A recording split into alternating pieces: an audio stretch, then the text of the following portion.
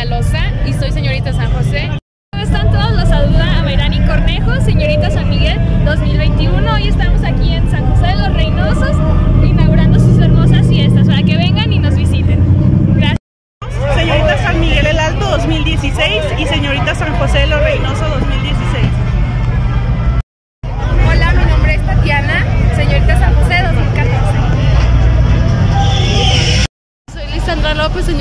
José 2007.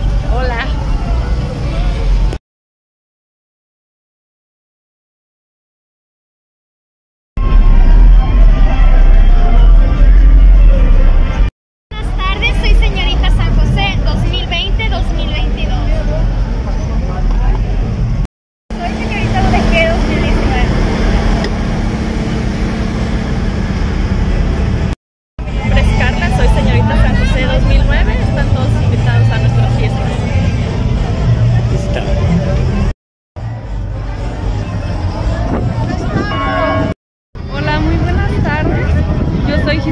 Muñoz López. Fui señorita San José de los Reynosos 2019.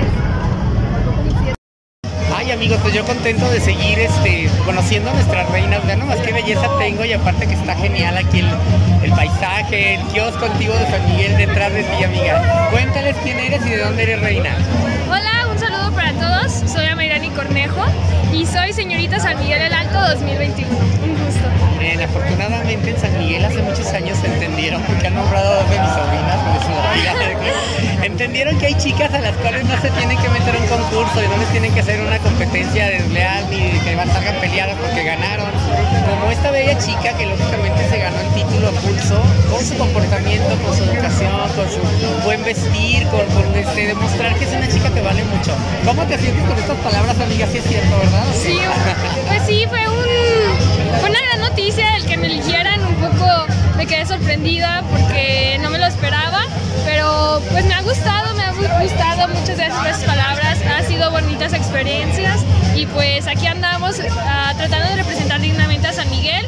Más que nada porque como, como dicen, pues me eligieron por dedazo, entonces aún más tengo que dar el doble. No se dice por dedazo, te eligieron por bonita, amiga. Estás espectacular y aparte eres un ser este, humano Gracias, genial, tienes un proyecto de vida muy padre, tienes tantas cosas que decir, porque veanla cómo se suelta, ella relajada, Yo te, yo te describo en tres palabras, pero pues, a ver, tú descríbete tres palabras que quisieras que conozcan de ti.